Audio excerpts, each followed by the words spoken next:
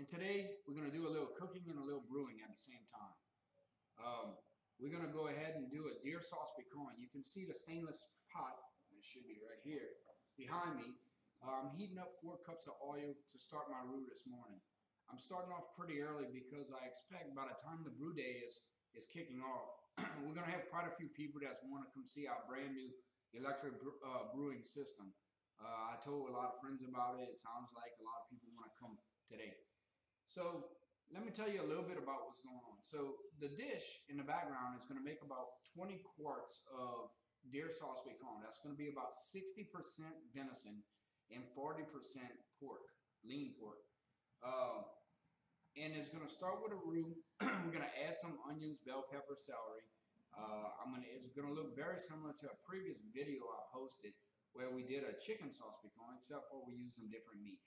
So it's common that I get asked, how do you know that your oil is ready for your to add your flour in your roux? Well, here's the answer. You sprinkle just a little oil, a little flour in your oil, and if it sizzles up, you know your oil is ready. So what I'm going to do is I'm going to add four cups of flour. So let's go ahead and add four cups of flour. And it should get smoky as I add my cups of flour. One cup. And I like to use a little whisk to prevent any clumping when I'm adding my uh, flour. Two cups.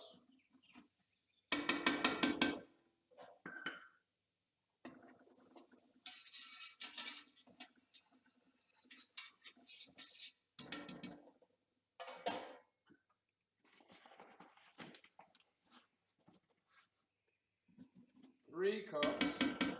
And let's get that fourth one in there. All right.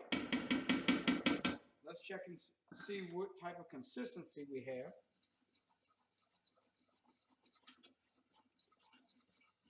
And I like to get to about a pancake thickness on my flour to oil ratio.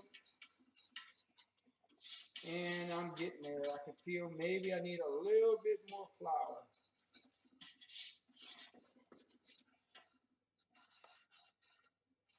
It's good. I'm going to leave it as it is. So, uh, now that I know that I have all the clumps out of my roux, I have a paddle with a flat bottom. So I'm going to continue stirring. Now, it's going to look real frothy at first. And that froth is going to settle down, and eventually you're going to end up starting to have a reduction, and it's going to be a, a dark peanut butter brown. Once we get to a peanut butter brown, I'm going to go ahead and show you where we are and where I'm looking to be before I add my onions. Well, here we are. I said I would show you what happens once the frothiness goes down. So it's really going to look more like a reduction if you if you did any cooking where you do a reduction. And so this is what you're looking for. And at this point, we're just going to keep it off the bottom. Uh, and this should really take us anywhere between 30 to 45 minutes. So try not to keep your heat up too high. You may notice that I'm at about a six out of a maybe eight, which seems high, but let me explain about my equipment. So I have a very, very thick bottom. And so that thick bottom allows me to crank up on the heat, especially early on in the roux process.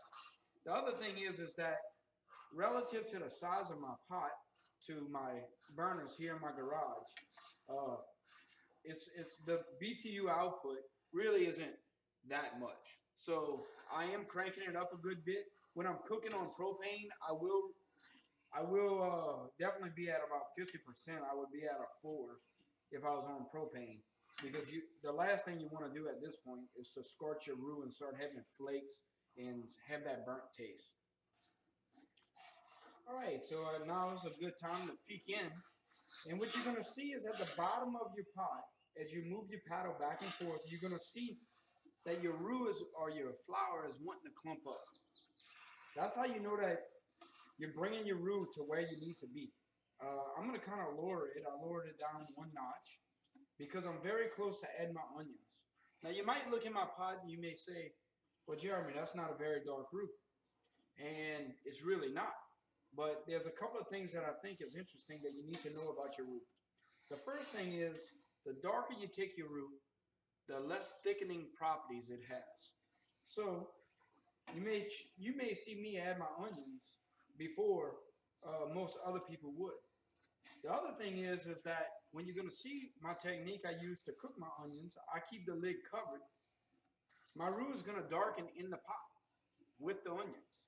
So uh, we're we're very close. So while I'm still waiting for it to get to those final moments of what I'm looking for, let me go ahead and tell you a little bit about the onions. Now, ordinarily, I would uh, I would chop my own onions. Uh, there's a lot going on today, and really, to be honest, cutting onions was not on my list of to do. So I'm using Guidry's. Uh, I'm using four uh, four one pound containers of Guidry's. It has onions, bell peppers, celery. It's actually called uh, Fresh Cut Creole Seasonings. It has yellow onions, bell peppers, celery, green onions, uh, parsley, and garlic. So the only additive I'm going to add is I'm going to add some additional garlic. So you should be able to see now that in the little while I was talking about my onions, I'm really starting to get some good color. And also, my roux is thickening up a good bit. Uh, it's really what we were experiencing at the bottom of the pot early on, I'm starting to experience all the way through and through the roux.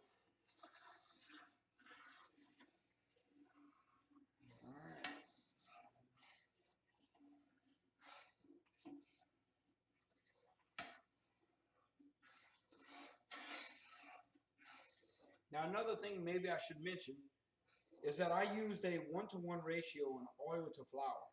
Now that's not my typical style. I'm normally uh, uh, about three quarters oil to one cup of flour, which I like a thicker roux.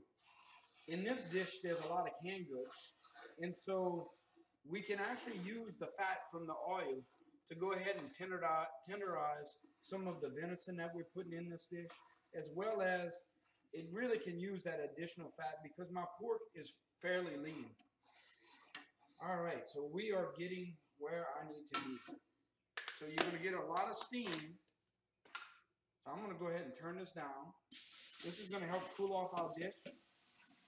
Stop the cooking of that roux.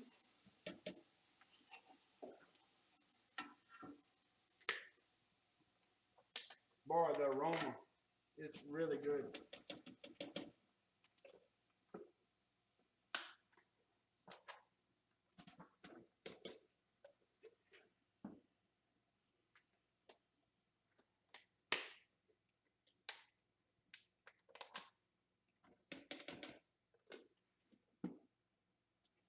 We're going to stir that in real good, and you're going to see.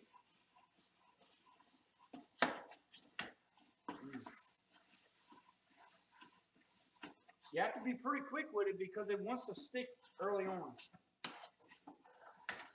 And as I mentioned, my technique is once I get everything evenly distributed in the pot, is that I'm going to go ahead and cover this, the onion.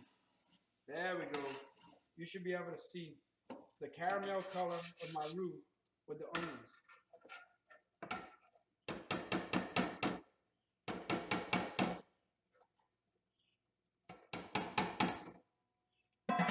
All right. Why do I uh, cover it? Well, let me tell you about that. The reason why I cover it is because it's going to lock the moisture in. So I, earlier I mentioned I can go ahead and cook my roux a little faster because I have a very thick bottom. Well, what will happen here is since I have that thick bottom, that thick piece of stainless plate that's underneath this pot, it's not going to scorch my roux. And I, like I said, I'm going to bring it low. I'm going to go down to three for a few minutes, and then maybe I'll bring it back up to four. Uh, and the water vapor that's evaporating is hitting that pot, and it's coming right back in. So it's kind of like some people may use the technique of keeping the pot open. and keep on adding water. Well, I don't do that. I'm basically using the moisture from the onions. Now, if I had fresh cut onions, if I would have cut them myself, there would be a whole lot more moisture. So we have to be aware of that because I'm using store-bought pre-cut onions. There's going to be a little bit less. uh, but that's okay. We can still accomplish the same goal. There we go.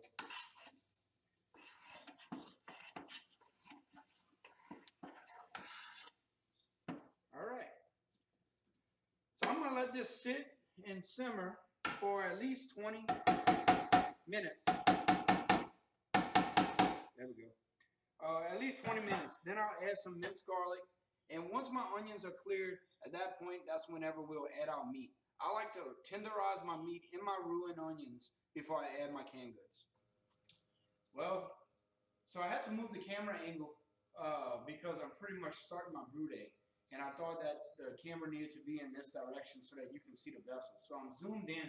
And at this point, my onions are almost done. I would say that my onions maybe uh, about 80% uh, to, to the point at which they're going to be clear. I'm adding some uh, some garlic. Now I'm not adding the whole jar. I just kind of eyeball it. A couple of tablespoons. There we go. And stir that in. I'm gonna go ahead and let the onions cook down in this in this roux and onions, uh, maybe for another five ten minutes. And then what I'm gonna do is I'm gonna add my meats. I do add my meats early in my roux. I do that whether I'm cooking a gumbo, I'm cooking a stew, or I'm cooking a sauce piquant. I'll somewhat brown those meats in that roux, and then I add my canned goods and my, my liquids after. I've been stewing the meat in the roux. At this point, uh, I would say that the meat is probably done, but uh, not tender. So I'm going to add all my canned goods. So first I'm adding 20 ounces of Rotel.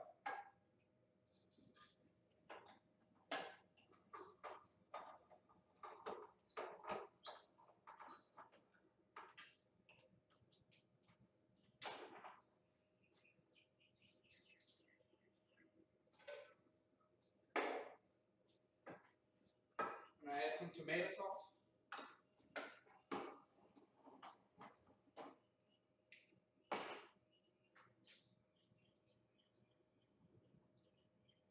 I have two cans of tomato sauce. I'm only going to add one. I want to make sure it's not too red.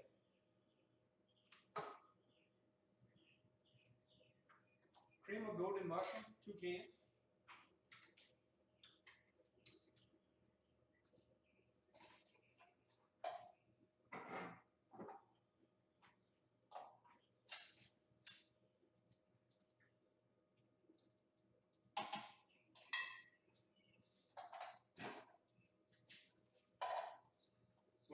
Three cans of Dawn's brown gravy mushroom sauce.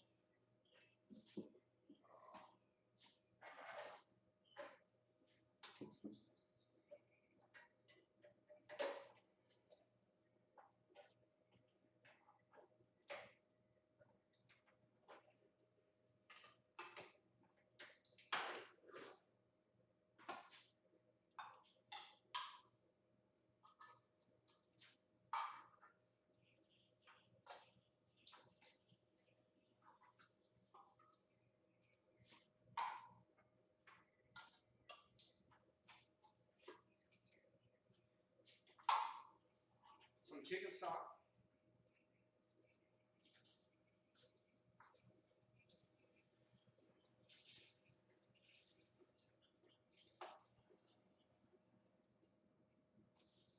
All right. And water to get my consistency. So we're going to go ahead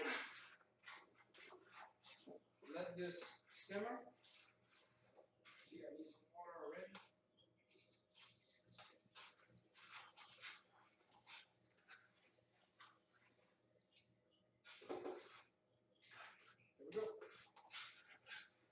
Let for about an hour and then we'll check it and see if we need to add any more candles.